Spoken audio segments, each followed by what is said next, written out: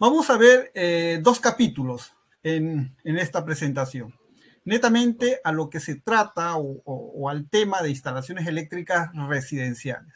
No, no vamos a ver eh, instalaciones eléctricas de empresas o, grandes proyectos. ¿no? Vamos a ver una casa, para, para, este tipo, una casa de aproximadamente dos a tres pisos. ¿no? Pero ya un proyecto como tal ya implica varios factores que debemos de analizar.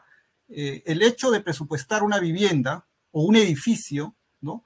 Implica muchas partidas, muchas cosas que debemos nosotros de, considerar, ¿no?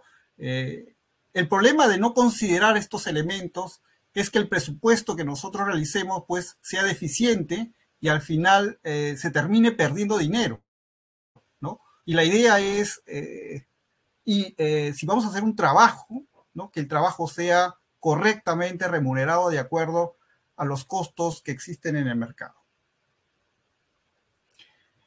Eh, dentro de las cosas que nosotros debemos de analizar primeramente es la normatividad. ¿no? La normatividad, el Código Nacional de Electricidad, eh, en el Reglamento Nacional de Edificaciones, en, sus estatutos, nos van a dar algunas eh, determinaciones o algunas normas que nos ayuden a poder tener el concepto claro de qué tipo de materiales vamos a utilizar en nuestro proyecto.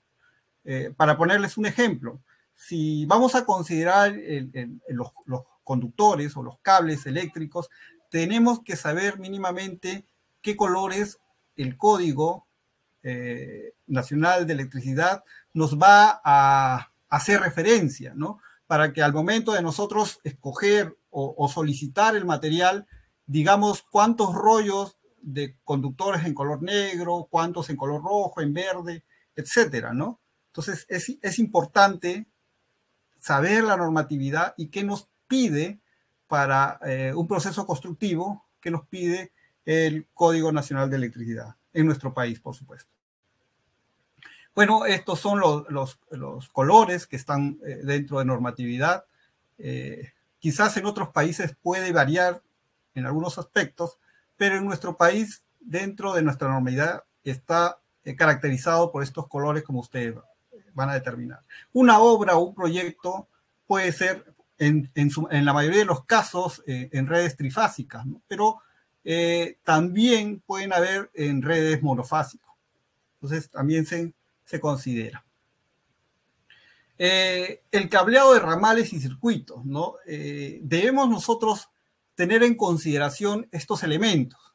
Los ramales y circuitos nos van a, determinar o nos van a llevar a los tipos de elementos que tenemos dentro de todos nuestros circuitos en general, ¿no?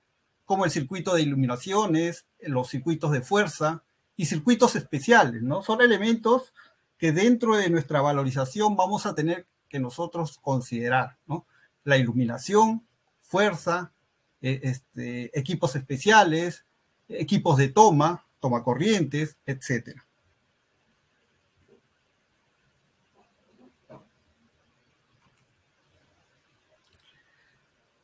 Eh, otra de las cosas que debemos nosotros de tomar en consideración son las unidades con las cuales nosotros vamos a presupuestar nuestro proyecto. Pueden ser unidades eh, de puntos, por ejemplo, si nosotros vamos o tenemos este, distintos eh, tomas o distintos tomas o luminarias que debemos de considerar dentro del trabajo que vamos a realizar, ¿no? Podemos considerar como, como puntos o como metros lineales, etcétera. Estos elementos deben estar dentro de nuestro plan de cotización que vamos a presentar al cliente. Durante el proyecto de construcción se debe tener en cuenta las normas, como ya le hemos eh, dicho.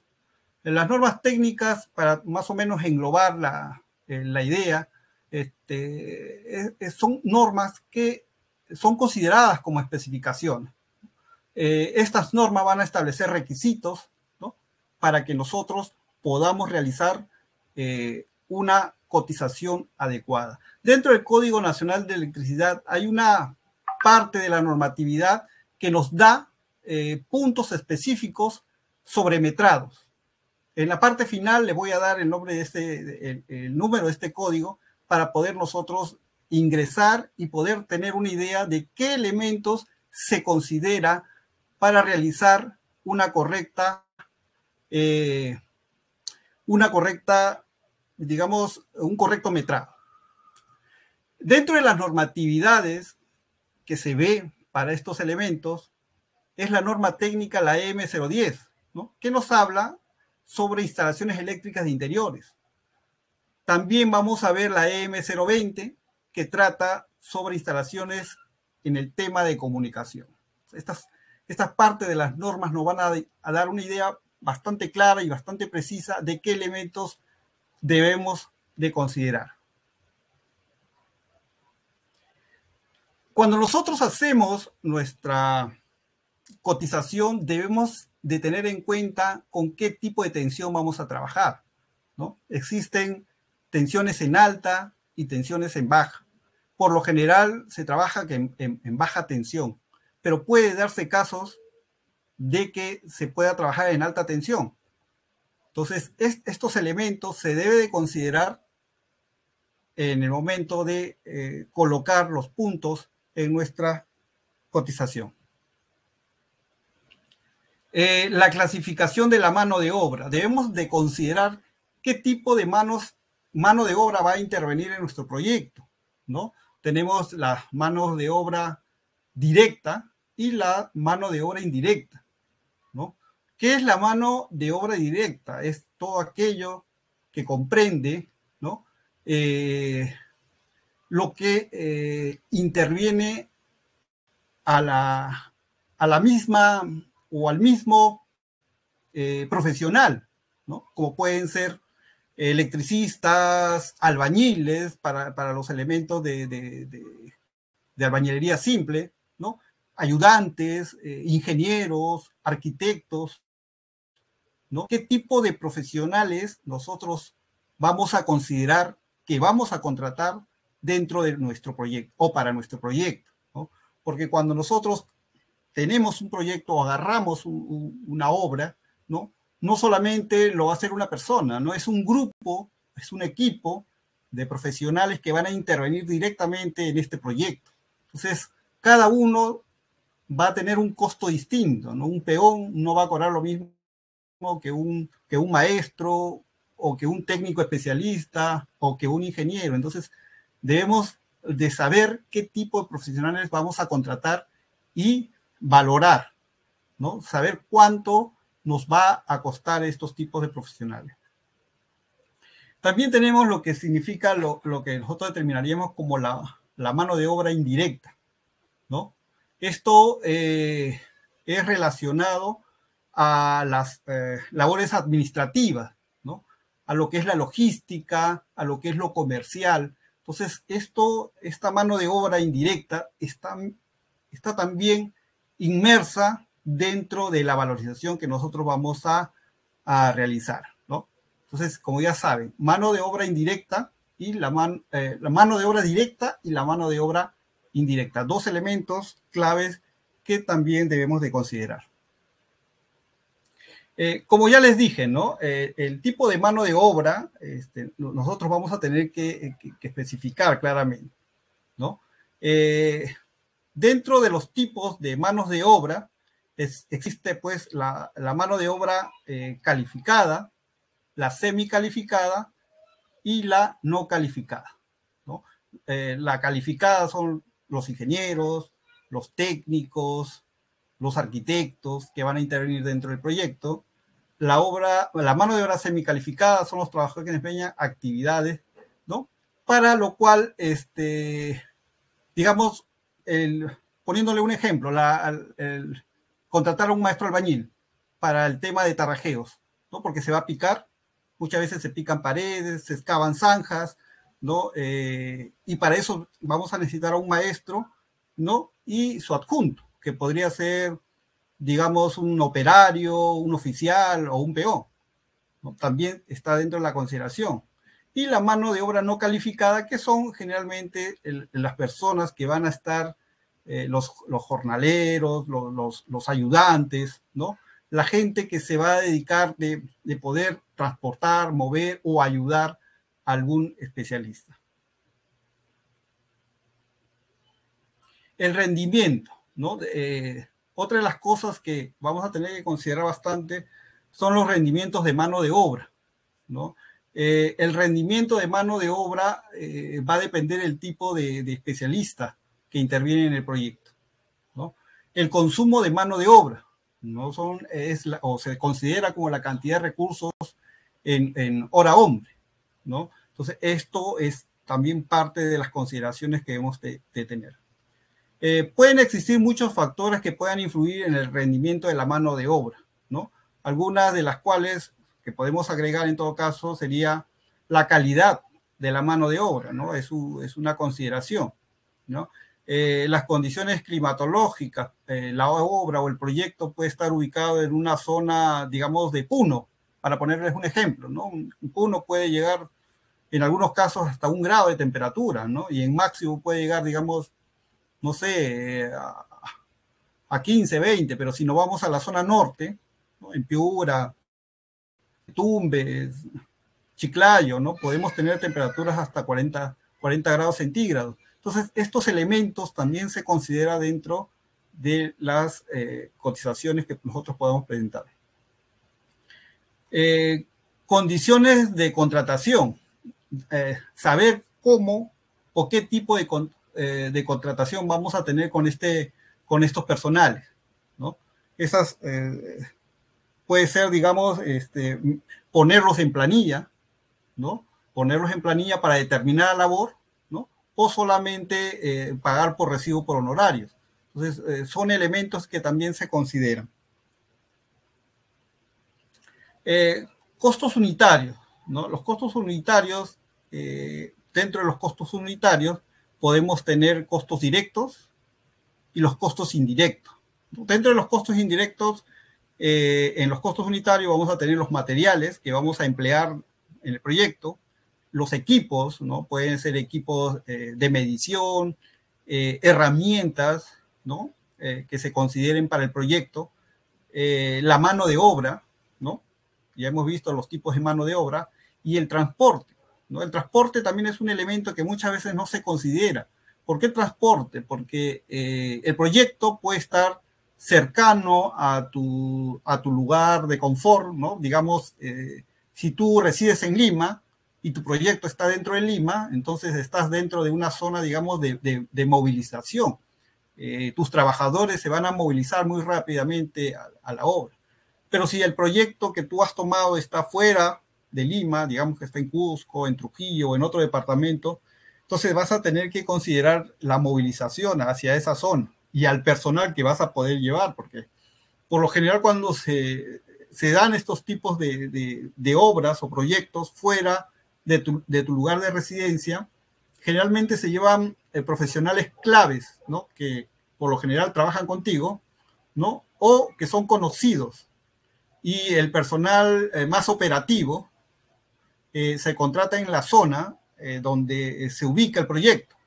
Entonces, e, e, esos elementos se toman mucho en consideración. Eh, por eso es importante saber en qué lugar o en qué zona está ubicada el proyecto. Eh, costos indirectos y utilidades, ¿no? Los costos administrativos, lo que corresponde movilizarnos, lo que corresponde eh, el hacer este, los trámites, las llamadas telefónicas, el, ir y, ver el proyecto, el metrar el proyecto, ¿no? todos estos elementos, eh, como los gastos, eh, digamos, de, útiles, ¿no? Eh, estos son gastos administrativos. También se debe de considerar la utilidad, ¿no? Hay este elemento de utilidad casi nadie lo considera, pero también está inmerso dentro de esta partida, la utilidad, ¿no? y algunos imprevistos. Uno no sabe qué es lo que puede ocurrir en todo el proceso ¿no? de ejecución de la obra. Pueden haber imprevistos, por ejemplo, puede haber huelga y el personal no puede trasladarse al punto de obra, ¿no? o puede haber de repente este, algún accidente en la cual eh, se paralice la obra. ¿no? Entonces, estos elementos también también se, son, son considerados. Dentro de los costos directos, que como justamente acabamos de ver, están los costos de los materiales, ya hemos visto, los costos de equipos y herramientas, ¿no? los costos de los materiales van a depender del tipo de, de material que se ha considerado en la especificación técnica. ¿no?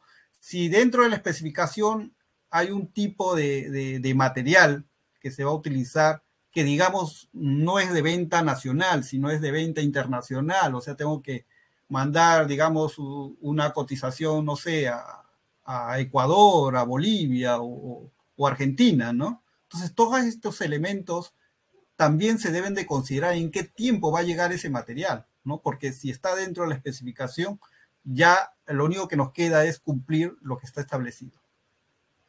Los costos unitarios de equipos y herramientas.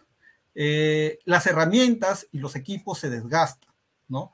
Eh, esto se tiene que considerar, ¿no? Por ejemplo, eh, los equipos que son equipos especiales como el megómetro, las pinzas amperimétricas, este, hay algunos otros este, equipos especiales que son equipos de prueba, ¿no? Por lo general son equipos sensibles y son equipos delicados, ¿no? Que hay que trasladarlos y estos equipos se desgastan en, el mismo fragor del, del trabajo. Entonces, también se considera una partida para estos elementos. Y de igual forma, las herramientas, ¿no? Todas las herramientas que se utilizan, desde la comba, el pico, la lampa, la barreta, el cincel, la punta, ¿no? Eh, la tijera cortatubos, este, eh, los desarmadores, etcétera, etcétera. Todos estos elementos también son considerados. Eh, el costo unitario de mano de obra, ¿no? Los, el, costo unitario de mano de obra es, es también parte de lo que nosotros debemos de tener en cuenta. Como ya les dije, hace un inicio, en un inicio, que las manos de obra va a depender del tipo de profesional o del tipo de, persona que realice determinada función, ¿no? Entonces debemos de considerar todos estos tipos de profesionales que están inmersos para poder saber determinadamente eh, qué o, qué, trabajos específicos están realizando cada uno, ¿no? Eh, en el costo de transporte eh, va a depender Si, por ejemplo, es un trabajo en la cual recibirá todos sus honorarios, ¿no? De acuerdo a ley, bueno, no, no, no corresponde porque ese trabajador va a tener que transportarse por sus mismos medios, ¿no? Si es de repente un, pago por, por, honorarios profesionales, de igual forma, porque ahí dentro de esos recibos por honorarios están incluidos no solamente su pago, sino algunos elementos como es el costo de transporte pero si tú determinas que este personal es un personal clave en el cual hay que transportarlo, ¿no? Digamos, es un personal que va a ser el metrado, ¿no? Que netamente no está realizando el trabajo porque todavía no, no, no, se, no, se, no se ejecuta la obra, ¿no? Pero igual se tiene que movilizar para poder hacer el metrado, para saber eh, cuánto, eh, en cuánto está valorizado este proyecto o, los elementos que intervienen en este proyecto para hacer, una, para hacer un adecuado metrado. Entonces, todos estos elementos también están incluidos, ¿no? Eh, los costos indirectos para este caso, uno de ellos es la utilidad, La utilidad es el, monto o es el porcentaje, que por lo general puede ser de un 10% del total. Que viene a ser eh, eh, la utilidad neta de la empresa, del, profesional o del, eh, contratista, ellos deben de tener un margen de utilidad, que corresponda para el proyecto o para el tipo de obra que está realizando.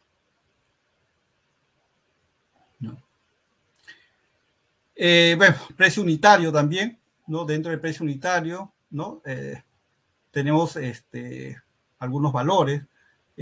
base de datos completo y actual de los materiales, herramientas, equipos, mano de obra y transporte. ¿no? Todos estos elementos se van a asociar en un, en un solo costo que vendría a ser el precio unitario. ¿no? Eh, también obtener detalles. ¿Qué necesitamos para, para, elaborar un adecuado proyecto? detalles específicos del lugar y la obra, ¿no? Eh, eh, muchas veces dentro del proyecto vamos a exigir, en todo caso, porque es parte de, los planos que corresponde, es el, lugar de ubicación o el plano de ubicación. ¿no? En ello vamos a determinar en qué zona, qué, cuáles son los colindantes del proyecto que vamos a realizar. Eh, ventajas de, del cálculo de precios unitarios de instalaciones eléctricas residenciales. ¿no? Ah, en una instalación eléctrica residencial se puede describir cada trabajo que se realiza y descomponerlo como unidades. ¿no? Eh, ¿Qué más? Describe el precio unitario de cada unidad de instalación. Abarca todos los gastos relacionados con las instalaciones eléctricas. Mejora la eficiencia del servicio. Satisfacción para el contratista, ya que la propuesta que se realizará está claramente detallado de lo o de cómo se debe de hacer, ¿no? De existir controversias, la oferta establecida son aplicables a ley. Entonces, todos estos elementos, ¿no? Que nos da la ventaja de cálculo de precios unitarios en instalaciones eh, eléctricas son importantes, ¿no? Para poder determinar las reglas claras de eh, esta cotización que nosotros vamos a, a presentar. ¿no? Hay algunos elementos que se necesitan saber, que se necesitan determinar antes de elaborar un presupuesto. Aquí vamos un poquito a, poder, en, la descripción y análisis de costos unitarios, vamos a poder detallar en los elementos que ya hemos visto. La idea es tener una idea un poco más clara de lo que hemos estado eh, hablando. ¿no? Cuando nosotros vemos ¿no? Eh, la descripción y análisis de costos unitarios, ¿no? vamos a ver algunos tipos de unidades, ¿no? ¿A qué, a qué nos referimos? ¿no? Eh, para globalizar todo esto, dentro de ellos estamos viendo el tema de materiales, ¿no? el tema de herramientas. ¿no? Ojo que las herramientas no es lo mismo que equipo. Eh, las herramientas son este, eh, como su mismo nombre lo indica, herramientas de uso manual, ¿no? Todo lo que es manual, ¿no? Y lo que no es especificado, ¿no? No son herramientas especiales, ¿no? Entonces, las herramientas pueden ser desde combas, barretas, pico, lampa, este, y algunos otros elementos, ¿no? Como desarmadores, alicates de punta, este, eh, alicate plano, etcétera, ¿no? Eh, estas herramientas eh, se especifican como tal. Los equipos ya son equipos más sensibles, ¿no? que también intervienen eh, dentro de esta, unidad de instalación o, descripción de instalación. La mano de obra y el transporte, que ya vimos anteriormente. cuando nosotros vemos los elementos de mando y control, por ejemplo, ¿no? a la hora de, elaborar un presupuesto, siempre debemos nosotros de, tener en cuenta detalles, ¿no? De la forma como debemos de hacer nuestra descripción, ¿no? Nosotros debemos tener primeramente eh, codificar. Dentro del plano, nosotros debemos subdividir partidas, ¿no? Y dentro de estas partidas nosotros debemos de codificar para tener un orden ¿no? Y colocar todos los elementos que comprenden este, el proyecto, ¿no? Por ejemplo, aquí tenemos una, eh, una descripción, ¿no? De una parte de, eh, de, lo, de lo que se va a realizar en este proyecto, ¿no? ¿Cómo vendrían a ser, por ejemplo, interruptores, eh, las, interruptores de computación, los dimer, sensores, etcétera, ¿no? Todos estos elementos que van a ser instalados dentro de este proyecto, ¿no? Tienen que estar codificados y tienen que estar este, marcados, porque todo esto, cada elemento que nosotros instalemos, eh, tiene que ser cuantificado, ¿no? Tiene que ser costeado, ¿no? Para luego ser cobrado.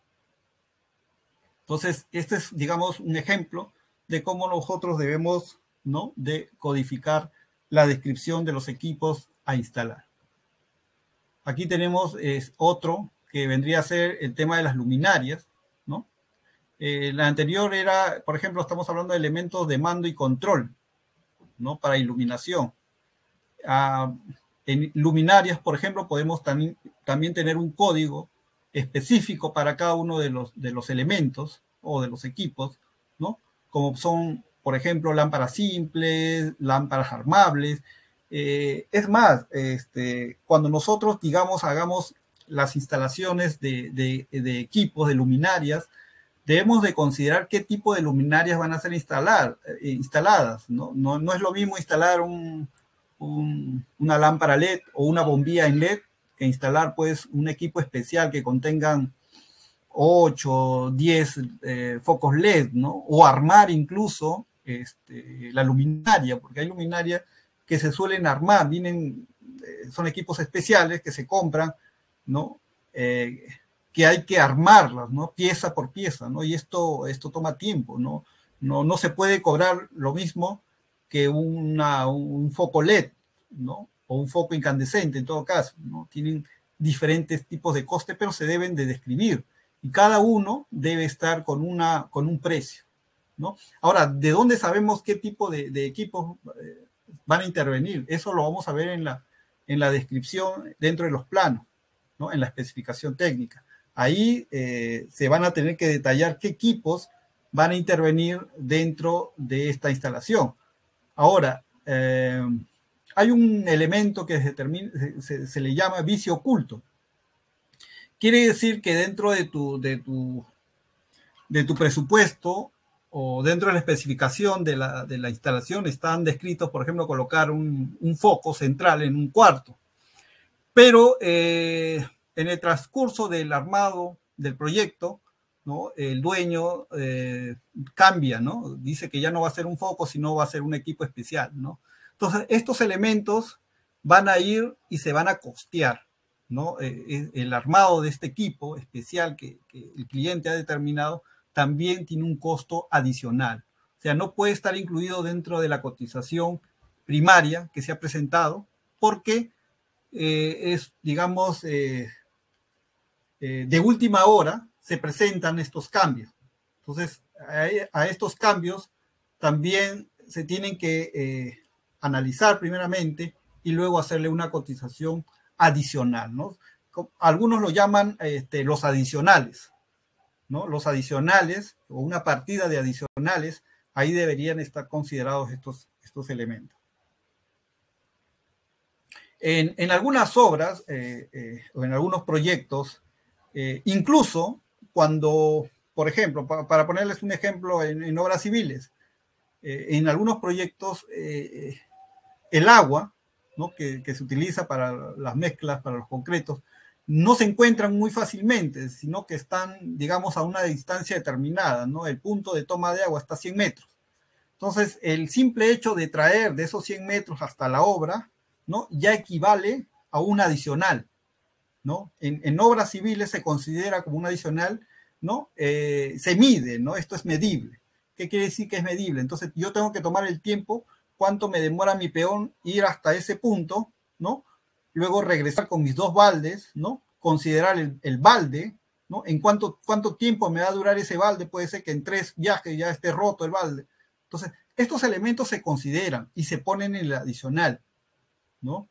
Eh, yo muchas veces en, obra he visto esto y, he cotizado, ¿no? Y al final, pues, eh, eso ha sido este, eh, reconocido y, pagado pero también estos elementos se tienen que tomar en cuenta. Eh, los sistemas de fuerza, de igual forma, ¿no? Se codifica, ¿no? Y se coloca dentro de la descripción, ¿no? en el cual eh, vamos a, tener que hacer la cotización. Sistemas especiales, ¿no? Tenemos sistemas especiales dentro de, nuestro proyecto, ¿no? Que vamos a tener que hacer las conexiones, ¿no? Por ejemplo, para la bomba de agua, este, tenemos que colocar el punto este, eléctrico para el funcionamiento de ella. ¿No? Son, son circuitos especiales que se va a tener que derivar para que puedan, eh, para que se pueda trabajar o puedan funcionar estos equipos. ¿no? Bombas sanitarias, calentadores eléctricos, ¿no? calentadores ambientales, todos estos elementos son circuitos adicionales, ¿no? que no están inmersos dentro uh, de un circuito determinado. ¿no? un tablero general o un subtablero pueden tener múltiples circuitos, ¿no? Múltiples circuitos. Los tableros, como ya les dije, no necesariamente es uno, ¿no? Pueden haber un tablero general y los demás subtableros. Cada uno de estos tableros, de acuerdo a la complejidad, también eh, se tienen que estar detallando dentro de la, eh, dentro de la descripción. Uy, ¿qué me pasó? Ya. Ya, ¿dónde me quedé? Se me movió la. Se me movió. A ver. Mm, ya. Bueno, otro de los ítems o de los códigos que debemos nosotros de, tener en cuenta son los sistemas de protección eléctrica, ¿no? Como ustedes hasta el momento habrán visto, eh, no es solamente este, colocar un simple tablero, algunos este, llaves termomagnéticas o, o, cobrar por puntos, ¿no? Muchas veces en el transcurso de los años de experiencia que he tenido, por lo general, cuando se hablaba de una cotización, a no ser que sea una cotización, pues ya más eh, como cotizar un edificio, ¿no? O, de una licitación, ¿no? Eh, siempre se considera puntos, ¿no? Eh, ¿Cuántos puntos son? Son 20 puntos, ya, bueno, 20 puntos. ¿Cuántos metros lineales de picada? Ya, tantos metros lineales de picada. Ya, listo. Este, y así, someramente, eh, se hacía la, cotización, pero no se han considerado muchos factores, ¿no? en lo personal, hace muchos años cuando me inicié en, el tema de la construcción, tuve eh, la oportunidad de poder hacer una cotización de una casa de tres pisos, ¿no? Este, se me mandó a hacer un, presupuesto, ¿no? A todo costo, ¿no?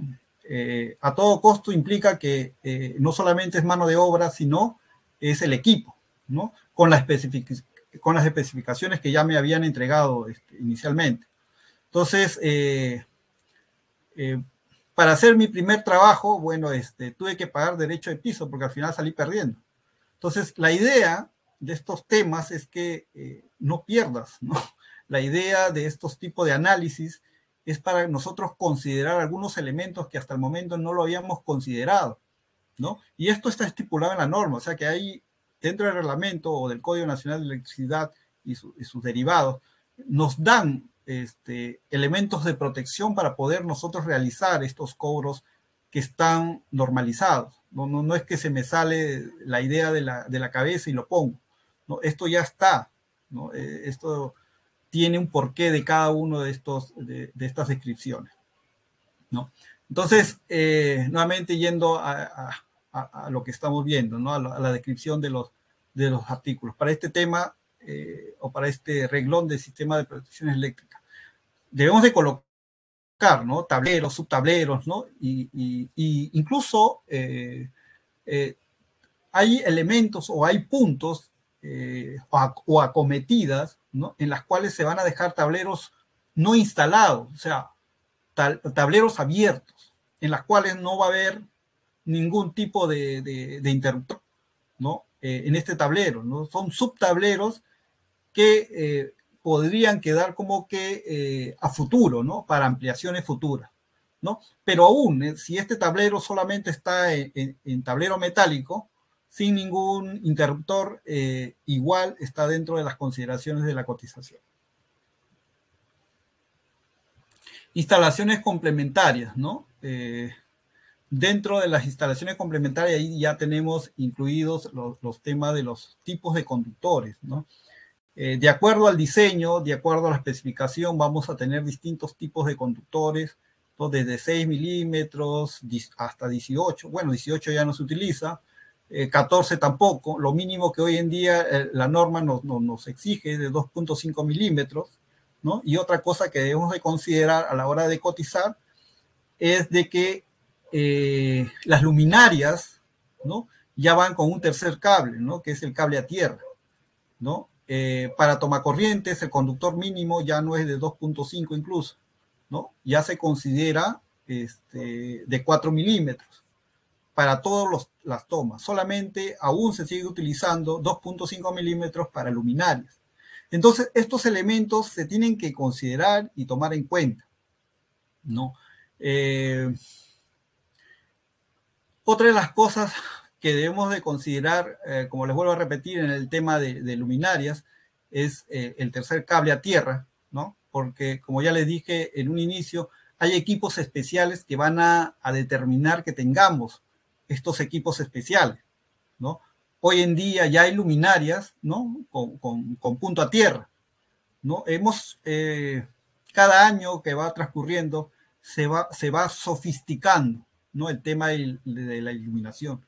Incluso la domótica es parte ya de los circuitos que se suelen instalar en vivienda, ¿no? Ya no necesita ser un edificio para, para, para tener estos, estos tipos o este tipo de tecnología, ¿no? Sino ya una casa tradicional puede estar inmersa en, este, eh, en esta tecnología que es la domótica.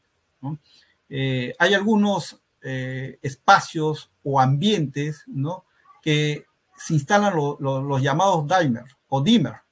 ¿no? Estos dimmer que sirven precisamente para bajar la intensidad de la iluminación en algunos ambientes de la vivienda, ¿no? como pueden ser salas, salas de estar, salas de espera, salas principales, etcétera, ¿no? Entonces, también es considerado, ¿no? Y eh, tiene un costo especial en instalar estos elementos. Sistemas de seguridad, ¿no? Eh, ya, si ustedes se van a dar cuenta, este, ya las viviendas tienen sistema de seguridad. Antiguamente los sistemas de seguridad solamente eran instaladas en empresas, en fábricas, ¿no? Eh, en garitas, etcétera, ¿no? Pero hoy en día toda vivienda ya tiene un sistema de seguridad, uh, sistema de monitoreo, etcétera, ¿no? Entonces debemos de considerar también estos elementos, ¿no? En qué punto de la vivienda se va a tener que colocar estos elementos de seguridad. Y eso equivale, eh, digamos, a un tipo de circuito especial, ¿no? A un tipo de circuito especial que está considerado dentro del reglamento.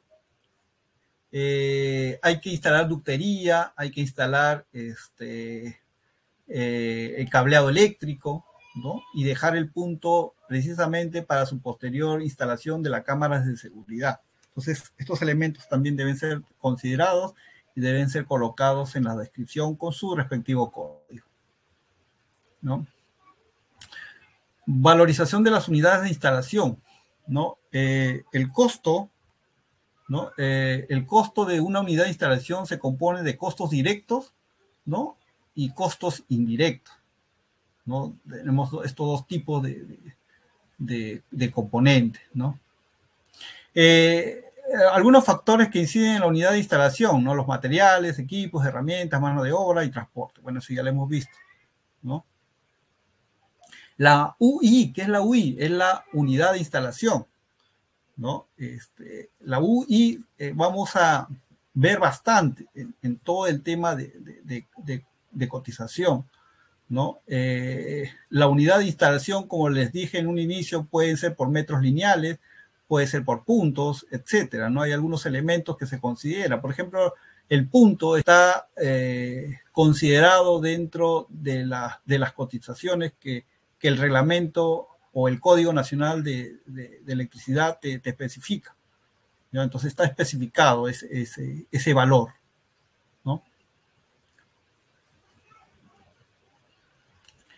Eh, el costo de herramienta y equipo.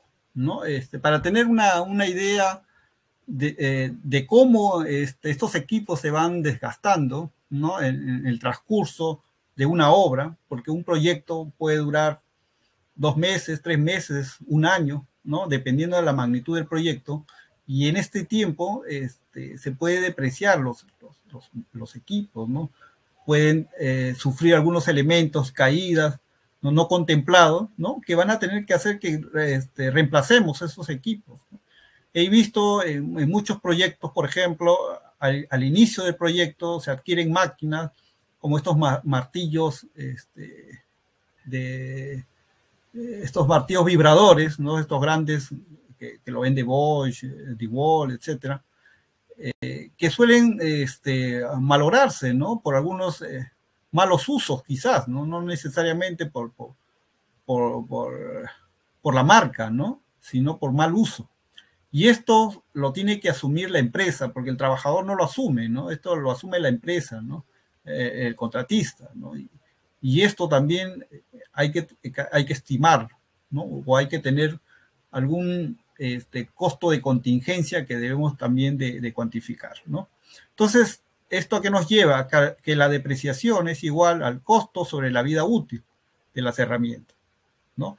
Y este, cuando analizamos el valor residual de, estos, de estas herramientas, tendremos que el costo horario por depreciación es igual al costo menos el valor residual sobre la vida útil de las herramientas. Entonces, son algunos elementos que se tienen que, conocer, ¿no? Y se tienen que eh, eh, tener en cuenta, ¿no? Se tienen que tener en cuenta para poder eh, tener un valor referencial a de cómo vamos a cobrar, ¿no? Y qué elementos considerar para colocar este, en el ítem de costos de herramientas, ¿no? el, el tipo de depreciación. Eh, bueno, el costo de la herramienta, este, como le dije en un inicio, va a determinar este, de acuerdo al tipo de herramienta, ¿no? de acuerdo al tipo de, equipo. Si, por ejemplo, es una demolición o una remodelación, ¿no? en las cuales vamos a tener que picar paredes, tumbar muros, porque eh, se tiene que remodelar el ambiente y volver a instalar los puntos eléctricos, ¿no? Entonces, tenemos que considerar equipos especiales, ¿no? Eh, y, todos estos equipos especiales se, tienen que cuantificar, ¿no? Y colocar en una tabla parecida a la que se está colocando aquí, ¿no? Eh, incluso el, el, el, costo de traerlo, ¿no? O de operación del equipo. Si estamos hablando de un roto martillo, ¿no? Por ejemplo, el, hecho de adquirir este equipo no, lo puedo traer en un bus, o en un auto. Este, de repente voy a tener que contratar un, taxi, ¿no? No sé. O de repente en una unidad particular, ¿no? Una camioneta o algo, ¿no? Eh, incluso se debe de considerar este, eh, qué, nos, qué nos equivale el poder traer de un punto A a un punto B o a la zona de obra, ¿no? Eh, esto también se tiene que cuantificar. Eh, en algunos casos, no necesariamente se va a tener que, eh, comprar las herramientas este, necesarias para, el desarrollo de la, labor. se va a tener que alquilar, ¿no? Hoy en día, pues existen dentro de los grandes centros comerciales que se dedican a la venta de, de herramientas y equipos especiales, el alquiler, ¿no? Tenemos que cuantificar, ¿no? ¿Qué tan, eh, qué tan cómodo nos resulta el comprar un equipo o una maquinaria o alquilarlo, ¿no? Si, por ejemplo, es una obra que va a durar tres meses o cuatro meses, quizás lo más eh, saludable, si el equipo es muy caro, sea alquilarlo, ¿no? Pero si es un proyecto en la cual se va a demorar bastante tiempo, digamos entre los siete a un año o quizás más. Entonces eh, sería prudente comprar el equipo, ¿no? Porque el alquiler de cualquier tipo de equipo es por día, ¿no? Considerando ocho horas, ¿no? Que, es, que es el horario de trabajo, ¿no? Algunos, por supuesto, no lo utilizan más de ocho horas, pero siempre cuando alquilas un producto te consideran como ocho horas de trabajo por día, ¿no? Si estamos hablando de que eh, se alquila una semana, te van a considerar por seis días, de lunes a sábado. Eh, el rendimiento de la herramienta y equipo. los rendimientos de los, de, los, equipos van a depender de, acuerdo a la calidad y, marca del producto o del equipo o de la herramienta. Entonces, eh, siempre se tienen que obtener o tener a la mano ¿no? equipos que brinden eh, la calidad, ¿no? Y la garantía para poder tener valores, valores exactos eh, cuando hagamos las mediciones de los equipos. Eh, los costos de materiales, ¿no? Ya, ya, hemos visto que los costos de materiales son muy importantes, ¿no? Van, a depender muchas veces de qué tipo de material se va a utilizar en el proyecto, ¿no? Se debe de considerar incluso este, las marcas, ¿no? Este, hoy en día existen muchas marcas, ya, ya está más globalizado el tema de las marcas, ¿no? Siempre cuando se adquieran las marcas, ¿no? No, se, no, no, no necesariamente se va a adquirir por capricho o porque es una bonita marca, sino que esta marca cumpla la normatividad peruana. ¿no? Nosotros tenemos normatividades. Por ejemplo, si hablamos de tomacorrientes, ¿no? Eh, existe en el Perú ya una norma que determina el tipo de tomacorriente a utilizar. Este, ya los, los, los, los, enchufes no planos no se, no se consideran para nada. ¿no? Eh, eh, el enchufe plano, por ejemplo, es para corriente 110, que es este, para una corriente americana. ¿no? Eh, el tipo de corriente que nosotros utilizamos es más que todo una corriente europea. Los europeos tienen 240, nosotros tenemos 220. ¿no? Eh, y esto es eh, importante saberlo y analizarlo a la vez. ¿no? todo equipo, toda herramienta se tendrá que tener en cuenta que cada uno de ellos debe cumplir la normativa. ¿no? Incluso sabemos que hoy en día los conductores eléctricos tienen que tener ciertas propiedades, ¿no? Como ser ignífuga, ¿no?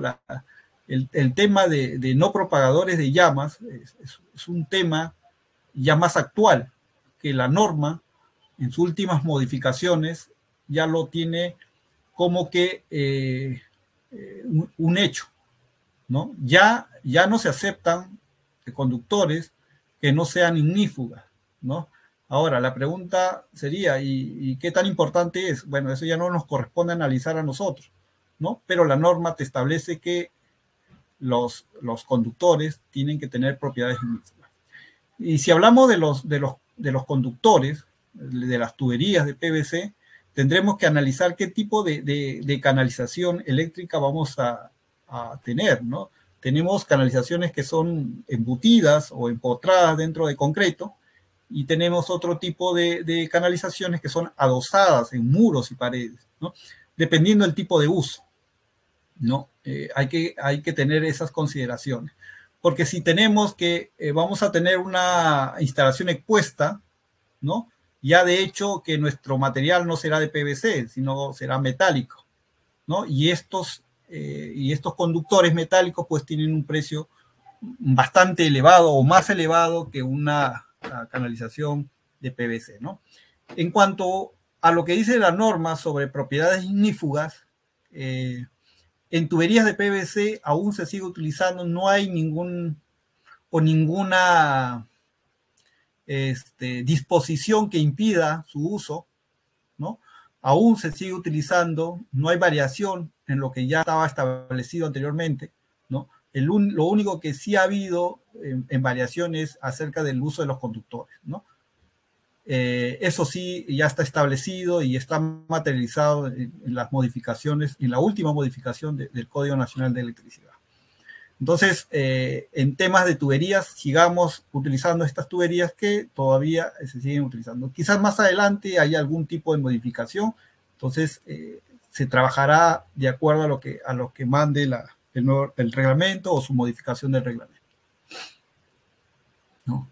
Entonces, este, cálculo de los materiales, ¿no? Es otro, otro procedimiento que debemos de analizar. El, PU corresponde al precio unitario, PU precio unitario, ¿no? Eh, y el PCM. ¿Qué es el PCM? Es el precio básico unitario que está vigente en el mercado, ¿no?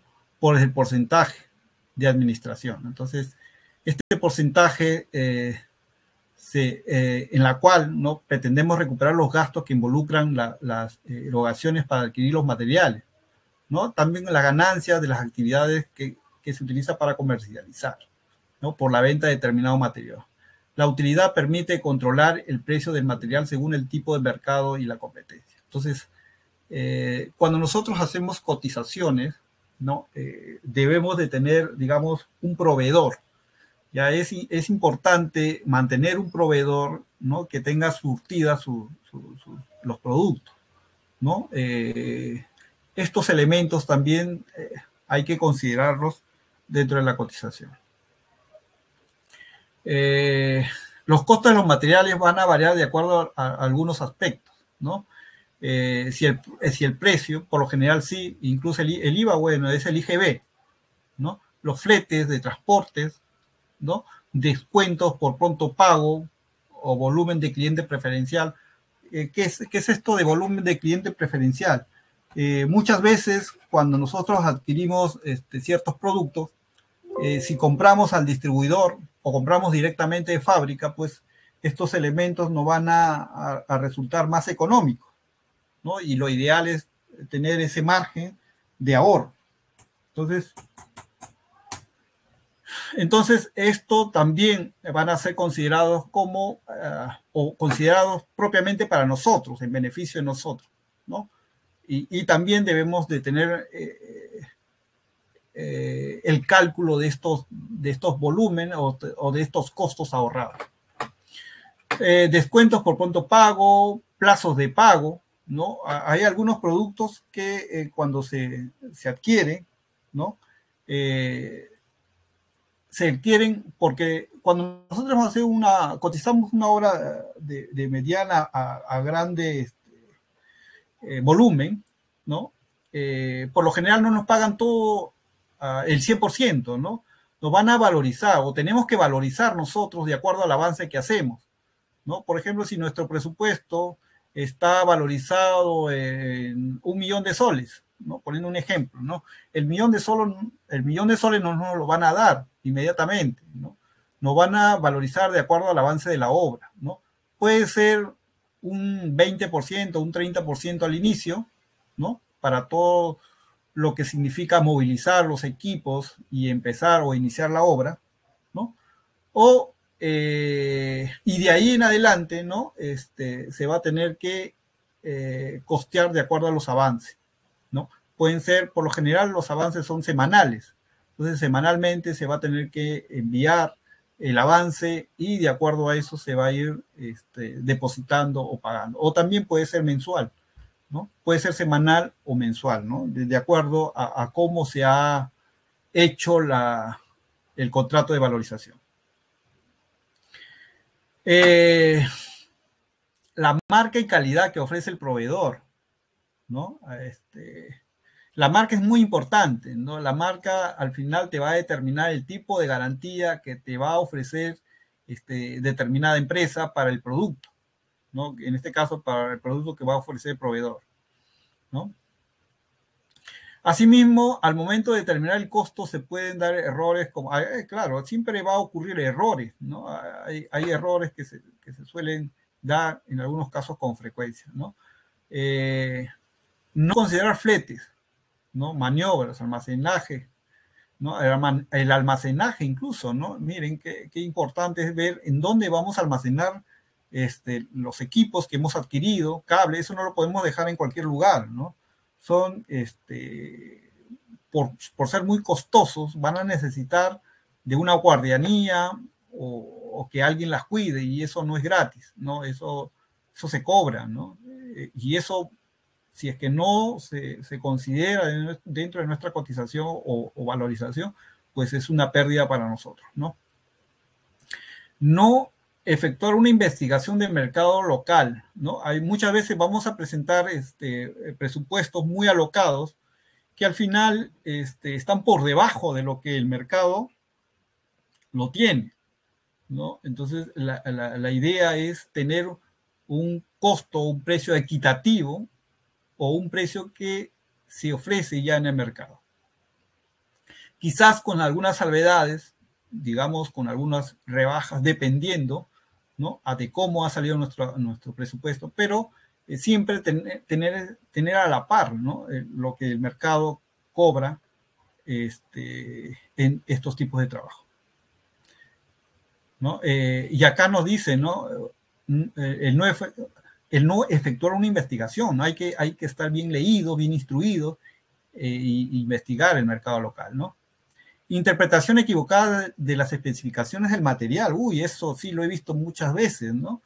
Eh, interpretamos mal lo que dice la especificación. Este, para ponerles un ejemplo, este, en un proyecto en la cual eh, se pedía mm, determinado aditivo, ¿no? Para, para determinada obra civil, el cliente, o el, cliente no, la empresa ¿no? que, se que se encargaba de realizar los, los trabajos, este, compró un material que tenía la misma propiedad ¿no? de este aditivo, del aditivo solicitado, tenía las mismas propiedades, pero no era la marca que, que, que él había ofrecido, ¿no?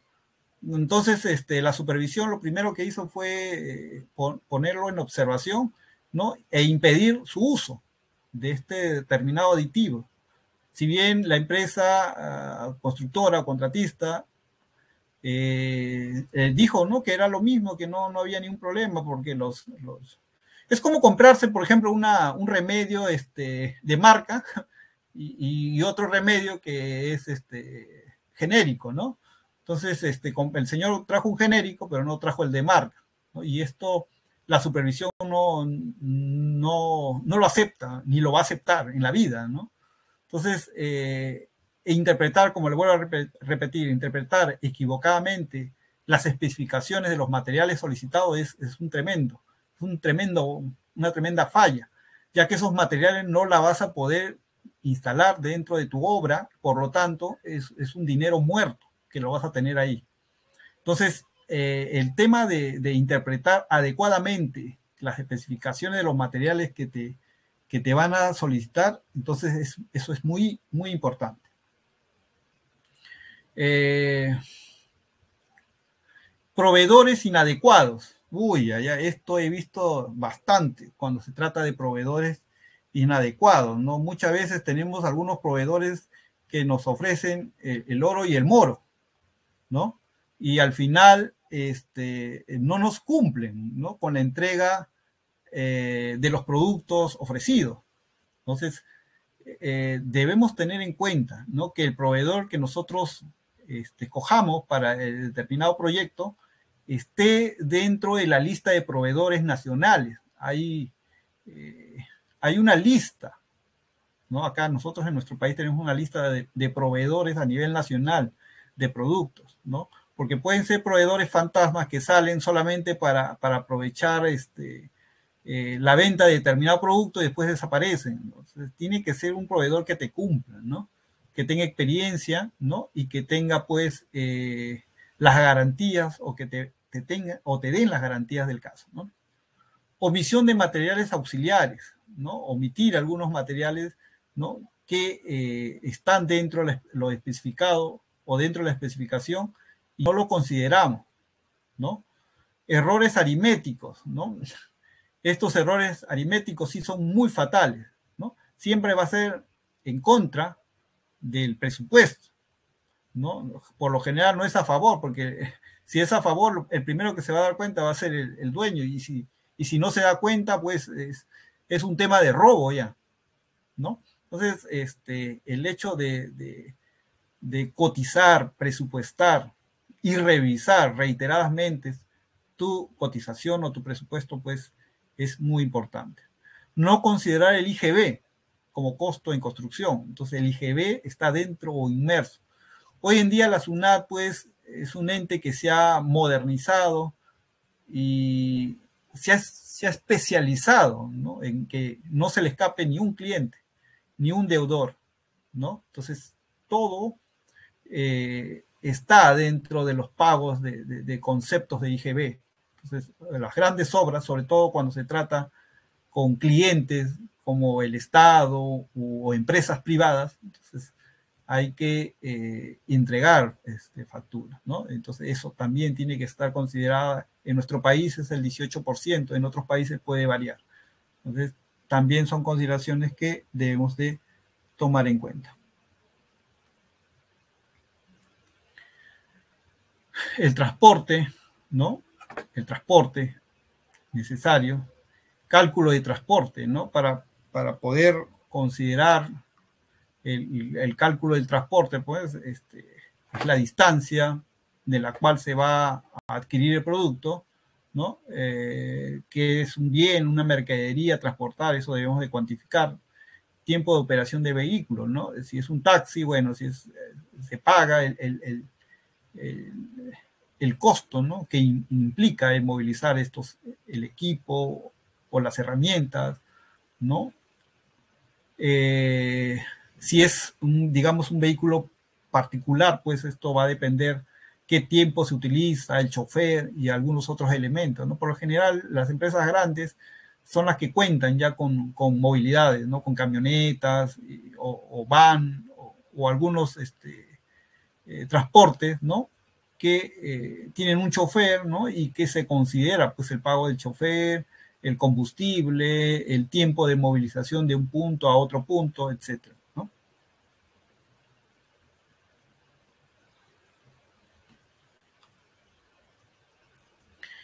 el costo de la mano de obra, ¿no? Y aquí tenemos un pequeño recuadro, ¿no? De lo que es este, eh, elementos del costo de mano de obra, ¿no? Aquí, por ejemplo, está en dólares, pero eh, lo podemos poner en soles. Es un ejemplo nada más. Eh, trabajadores en general, trabajadores de la pequeña industria, trabajadores de máquinas, trabajadores agrícolas, operarios, artesanos, etc. ¿no? Entonces, este, en, en la revista de costos y presupuestos, hay una revista y la revista Constructivo, nos dan mayores detalles de cómo se va actualizando el costo de la mano de obra, ¿no? Entonces, yo les recomiendo que puedan adquirir estos dos este, fascículos, ¿no? Costos y presupuestos y eh, construcción, ¿no? Eh, la revista de construcción, ¿no? Tal como lo, lo, acabo de mencionar. Entonces, esta revista sí tiene en la parte final de, toda su presentación, pues, eh, los costos actualizados, ¿no? Los costos actualizados que eh, debemos de tener este, en consideración.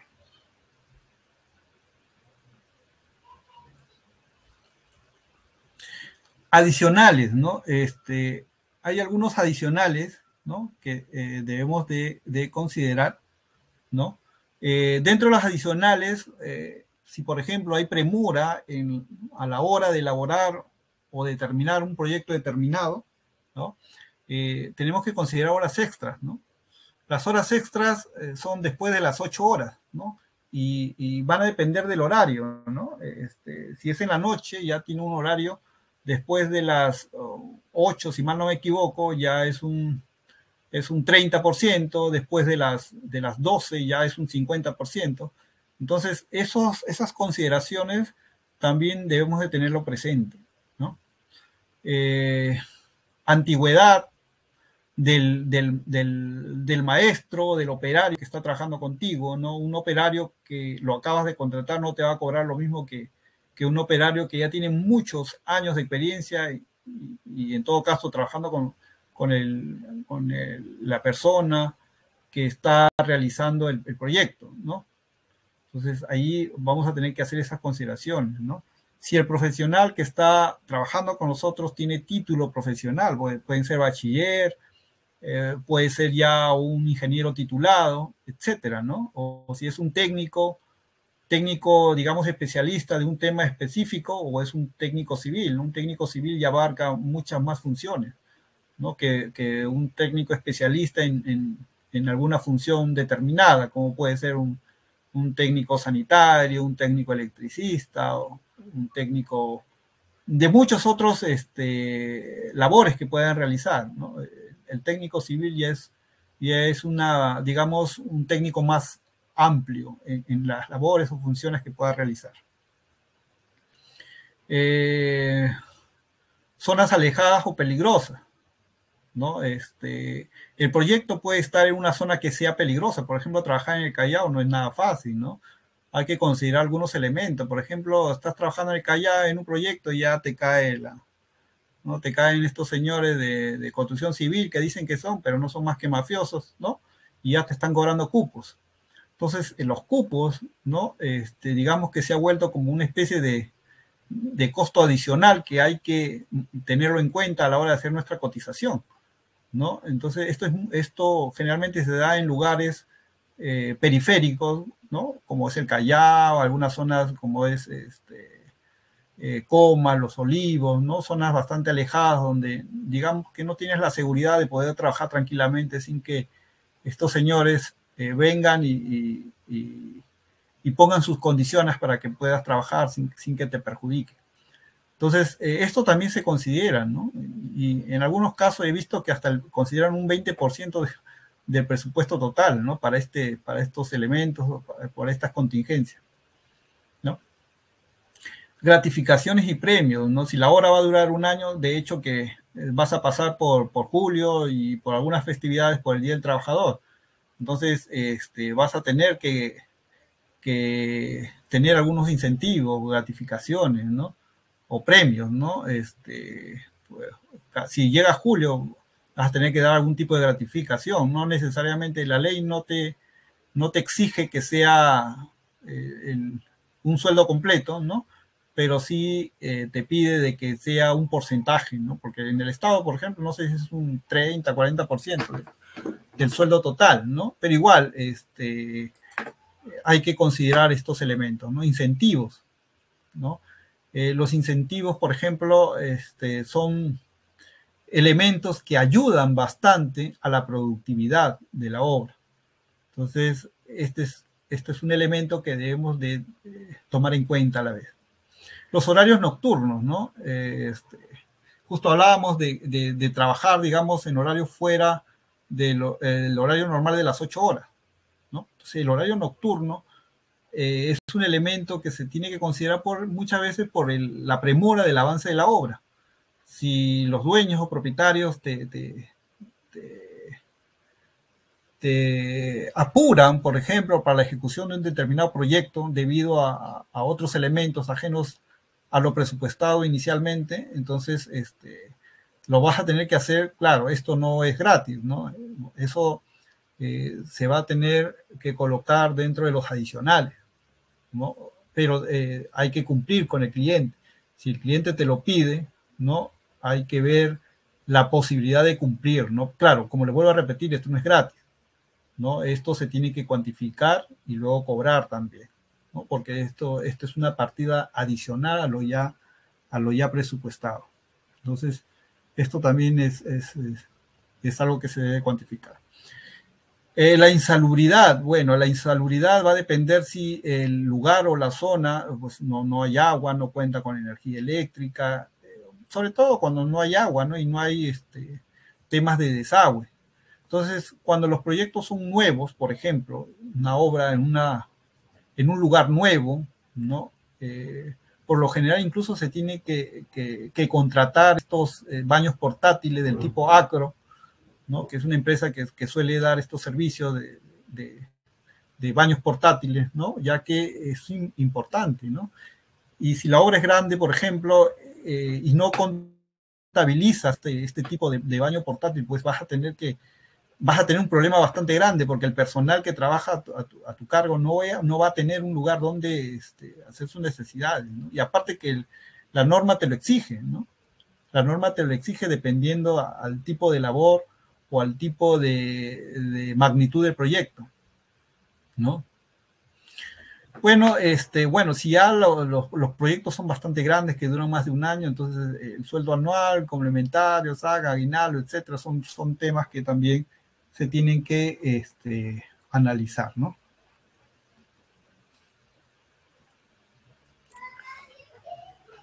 Eh, algunos otros elementos que eh, se suelen considerar son las cargas sociales. ¿no? Las cargas sociales se va a ver sobre todo en, proyectos grandes, ¿no? Como por ejemplo este, la natalidad, por ejemplo, ¿no? De, repente algún trabajador, por ejemplo, este, ha tenido un hijo, ¿no? Y la ley te exige de que hay que darle un descanso, ¿no? Y al darle descanso a este trabajador, pues, eh, ¿qué problema vamos a tener? De que no labore en esos días, ¿no? Vamos a tener, digamos, este, una pérdida de día, ¿no? eso ya es una carga social que está reglamentado dentro de, nuestra normatividad, ¿no? entonces hay que, hay que considerarla, ¿no? Y hay que tener este, eh, tenerlo presente, ¿no? Tiempos no trabajados y pagados, ¿no? Eh, bueno, esto es parte de lo que correspondería a la carga social, ¿no? O también algunos factores como este, elementos ajenos ¿no? a, las labores. Por ejemplo, imagínense que hay huelga, ¿no? Como las que ha ocurrido, pues estamos acostumbrados a ver eh, cada cierto tiempo, ¿no? En las cuales, por ejemplo, hay paro de transportistas o hay algún paro social en las cuales pues, el trabajador no puede movilizarse eh, correctamente o su vida está este, en peligro, ¿no? Entonces, este, es un tiempo que no se va a trabajar el, trabajador, no porque no quiera, sino porque las condiciones sociales no, no, no se lo permiten, ¿no? Pero igual eh, se va a tener que hacer este, los pagos, ¿no? Los pagos de ley, ¿no? Eso no se puede, no se puede dejar de, de realizar, ¿no? Este, beneficios sociales de ley, seguridad social, ¿no? Los beneficios sociales eh, corresponden, ¿no? De acuerdo a ley, eh, que se tienen que, eh, cumplir, ¿no?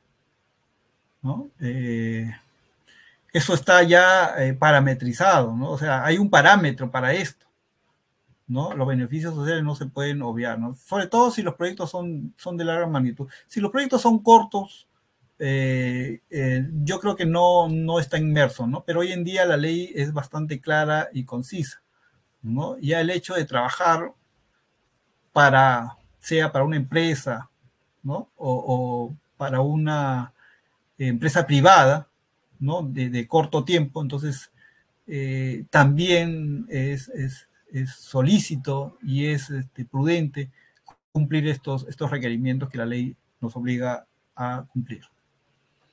Entonces, señores, eh, bueno, esto es eh, parte y, quería de repente para ver, este, bueno, esto lo vamos a profundizar el día de, mañana, ¿no? Entonces, este, vamos a ver estos temas, estos temas los vamos a ver en un plano real, ¿no? En, AutoCAD, como le vuelvo a repetir, lo voy a, lo voy a presentar en mi, máquina, ¿no? Pero bueno, estas son algunas montantes de cómo va eh, direccionada, digamos, las montantes eléctricas, ¿no? Para cada uno de los circuitos, ¿no? Circuito principal. Bueno, esto en general son cajas de paso, ¿no?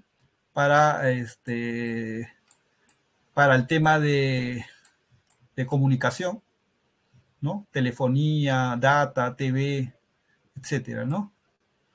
Entonces, bueno, es, más que todo para, para ver. A ver. Ah, bueno, acá tenemos otras consideraciones estos elementos que estamos viendo están inmersos ya en los planos, en los planos de instalaciones eléctricas. Hay que tener en cuenta que los planos de instalaciones eléctricas eh, no solamente es un plano, son muchos planos, ¿no? Este, y están enumeradas. Eh, dentro de los planos están eh, el tema de detalles, ¿no? Los tipos de cajas que van a utilizar. Por ejemplo, aquí podemos apreciar Ah, allá, voy a poner acá. Ya. Tenemos acá, por ejemplo, cuadro de, eh, cuadro de cajas y pases, ¿no? Si ustedes pueden ver, ahí tenemos la simbología, ¿no? Y nos da la descripción. Justo hablábamos de la descripción del producto que nosotros vamos a tener que instalar, ¿no? Se tiene que cumplir, ¿no? Lo que dice primeramente la especificación, ¿no? Y lo que dice o lo que te menciona eh, los planos de detalles. En esta descripción podemos ver qué tipo de caja cuadrada se va a utilizar, ¿no? Y esto se tiene, en el caso de que sea todo costo, ¿no? Esto se tiene que cuantificar, estos, estos valores, ¿no? Hay que hacer una cotización, ¿no? Para poder describir estos tipos de cajas. Por ejemplo, acá te determina solamente caja cuadrada de 100% por 50, pero no te dice qué tipo de caja es, ¿no? No te dice si es de PVC o si es metal. Esto ya lo vamos a encontrar en la especificación técnica. En la especificación técnica te va a decir cuadra, caja cuadrada 100% por 50, PVC, ¿no? O metal, ¿no? Eso, eso, eso netamente te dicen en la, en la especificación. ¿no? Eh, bueno, eh, los cálculos de carga, eso ya están dentro de, de los planos especificados, ¿no? Y, eso es muy, muy importante para poder este, escoger los tipos de conductores que vamos a utilizar, el calibre, el tipo de, llave termomagnética, ¿no? Eso nos, va a ayudar a, poder saber qué tipos de llaves diferenciales, este, interruptores este, termomagnéticos o disyuntores, ¿no? Las llaves diferenciales tienen el otro nombre de disyuntores, ¿no? Eh, y equipos especiales, ¿no? Entonces, esto también es importante saberlo, ¿no? Y aquí tenemos, por ejemplo, el, cálculo de cargas de un plano determinado, ¿no? Y tenemos el detalle, por ejemplo, ¿no? Eh, esto se llama diagrama de un tablero específico, ¿no? En las cuales nos van a dar consideraciones para poder nosotros este, ver qué tipo, ¿no? Qué tipo de tablero, bueno, no se ve muy bien. Ya en el plano de que vamos a ver el día de mañana lo vamos a ver más claramente, ¿no? Pero esto está dentro de los planos que vamos a tener a la mano y que vamos a tener que, leer y analizar primeramente antes de realizar nuestra, nuestra, cotización. ¿no? Eh, bueno, este es un otro plano. ¿no? Estas son las acometidas. Y quería terminar esta, esta lección del tema que hemos visto el día de hoy haciéndoles una recomendación para todos los que estén interesados en, saber y aprender un poco más sobre metrados en edificaciones, yo les, en, forma particular, les voy a recomendar esta, esta bibliografía, este libro que es muy bueno, ¿no? que se llama Metrados en edificaciones y especialidad en instalaciones eléctricas. ¿no? Este es el ingeniero Oscar Velázquez Bustamante, es un, un profesional con muchos años de experiencia, que eh, tiene un texto, ¿no? Este texto eh, no hay muchos textos, eh, como le dije en un inicio, sobre metrados en edificaciones, no, no hay. ¿no? Es prácticamente, generalmente son de, de, otros países como España, Colombia, este, Argentina, ¿no? Que, que, tienen bastante material al respecto, pero acá en el Perú no tenemos mucho material con qué, o bibliografía con qué trabajar, ¿no? Entonces, eh, les recomiendo que, que, que, los que quieran, digamos, este, aprender un poco más puedan eh, tener este tipo de... de Jaime, de... consultan dónde se puede conseguir el libro. Eh, bueno, esto lo puedes conseguir frente a la uni. Ya, eh, he buscado en otras universidades y no, no las he encontrado, solamente las he encontrado frente a la uni. Entonces, eh, busquen frente a la uni y bueno, este es un, un, un, libro que tiene muchos planos, o sea, es un libro bastante completo para lo que se quiere actualmente en el mercado. En este libro espe específicamente habla sobre una edificación de ocho pisos, si mal no me equivoco, ¿no? En la cual te hace el metrado total de esta edificación de ocho pisos, ¿no? Todos los complementos, todo lo que interviene, todas las consideraciones y todo lo que dice la reglamentación. Entonces, eh, es bastante completo para lo que eh, se quiere o lo que se quiere aprender en, en esta ocasión. Bien, señores, eh, conmigo será, si tienen alguna pregunta, por favor me la hacen saber o en todo caso al WhatsApp